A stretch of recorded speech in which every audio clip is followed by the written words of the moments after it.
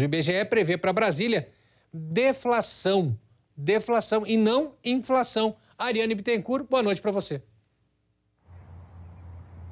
Pois é, Porta Nova, boa noite a você e a todo mundo que está nos acompanhando. Segundo o IBGE, o IPCA 15 desse mês de junho, que é a prévia da inflação, compreendida aí na metade do mês, está em menos 0,28, ou seja, uma inflação negativa. A última vez que o DF tinha registrado uma deflação no IPCA 15 tinha sido em setembro do ano passado, sendo que quatro dos, dos grupos pesquisados apresentaram quedas e puxaram então esse índice para baixo, conforme o IBGE nos informou. Ainda assim, ao longo do ano de 2023, o IPCA 15 acumula uma alta de 2,67% e em 12 meses essa alta é um pouco maior, de 3,34%. Então vamos aos responsáveis por esse impacto negativo. Segundo o IBGE, neste mês, os responsáveis são os grupos de transportes e de combustíveis que apresentaram uma queda significativa e por isso